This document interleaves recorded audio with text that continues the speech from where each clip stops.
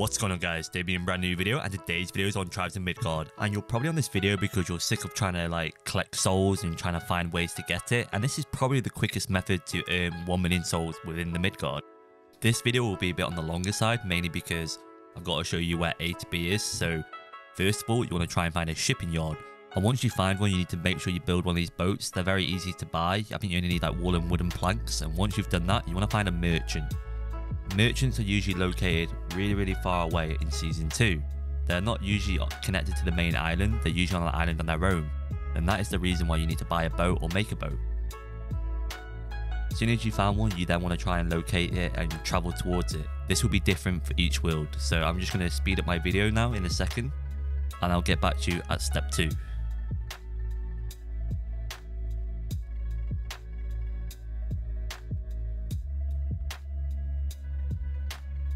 So in the video you just see me make a hard cut, mainly because I don't want to waste your time watching me sail a boat from one side of the map to the other.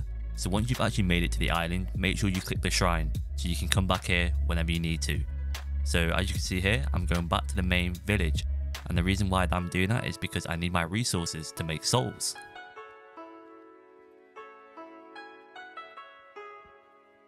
So the next step in this video is you want to make sure you go to the chest and take everything out. You can do this quicker. In the video, I actually was pressing left and right on the D-pad, which is really, really stupid. So I've actually sped up the video into like five times. You can actually press the analog stick, which is L3 on PlayStation, and it will just easily equip all the items over to the left.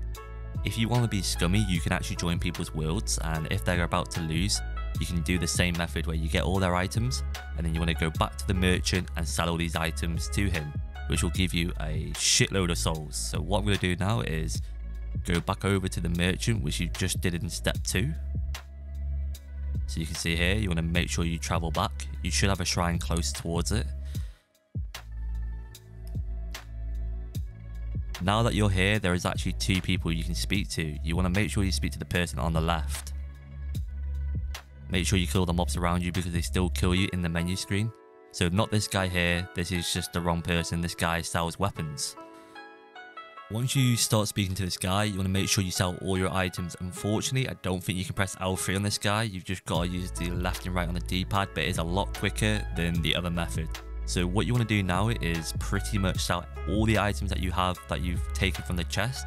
So this is like step 4 or 5. So the trophy is not to make souls. The trophy is pretty much to use souls within the Midgard but this is the steps that allows you to make this trophy a lot easier and it's quicker than any other method within the game. So I'm going to make a bit of a hard cut in the video again, so once you've sold all your items, I think I ended up with 22,000 souls. So now that you've done that, you now want to make your way towards a sorcerer. So sorcerers are located very very easily. They're usually attached to the main area of the map on season 2. So they, they're like a little stick thing. You can see in the top left corner what the icon looks. So when you go to this guy, you want to go to his consumables and buy soul potions.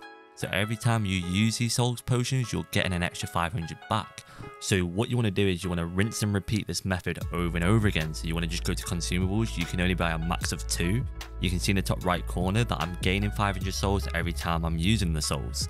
So this is the best and quickest method to earn this trophy. So in the bottom left corner, you can see that I've got a health potion. You don't want to have potions on your screen.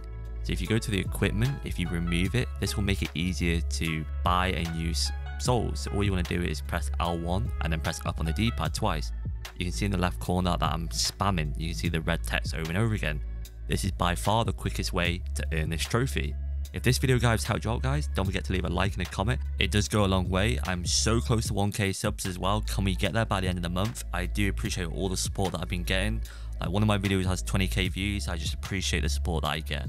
See you guys in the next one. Peace out.